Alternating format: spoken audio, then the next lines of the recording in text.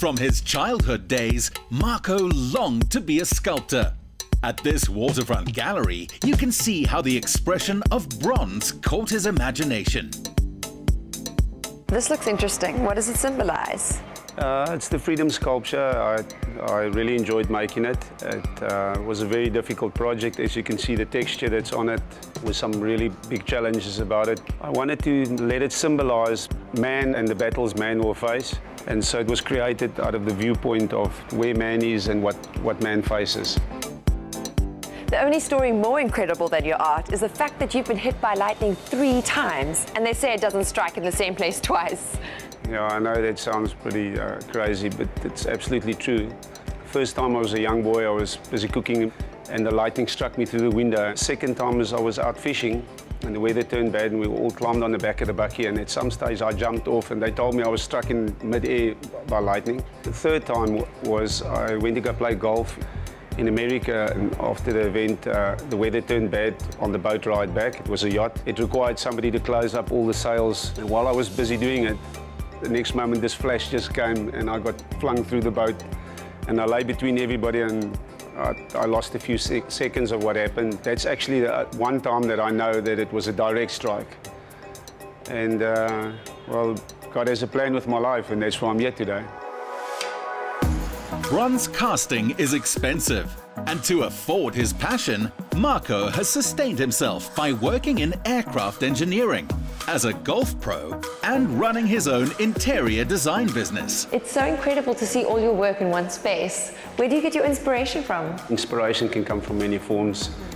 We share the planet with really remarkable people, and uh, I mean animals too. I mean, look at this mountain, and uh, in some of my sculptures, you can see that the mountain depicts some of the rock work and, you know, the rough textures. And when you're driving next to the road and you find a special rock, I mean, it talks to us, uh, specifically as sculptors. How would you describe your style as an artist? I think pretty much from the onset, I've always loved texture, and uh, I think the incompleteness makes it complete for me. When people walk into the gallery, their first question is, why are things the following way? And I think that's pretty much what I hope to achieve.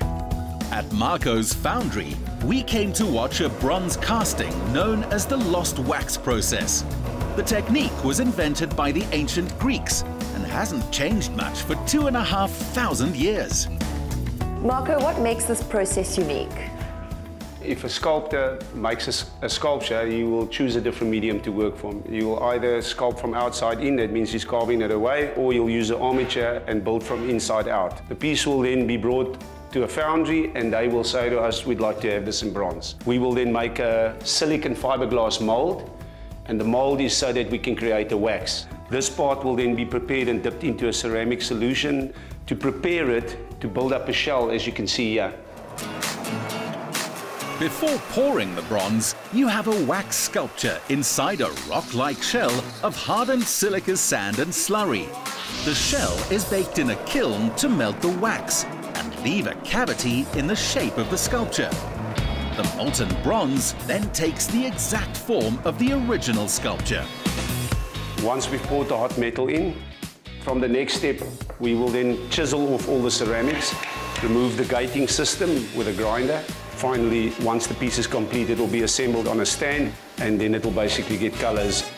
I'd really like you to meet Derek, my right-hand man, and he's busy working on a piece, and I think you'll be interested in seeing what it looks like. The three years he's worked with Derek de Tjose have been some of Marco's best. Have you learned a lot from Marco? A lot of things Marco is teaching me. But me also are teaching from my side.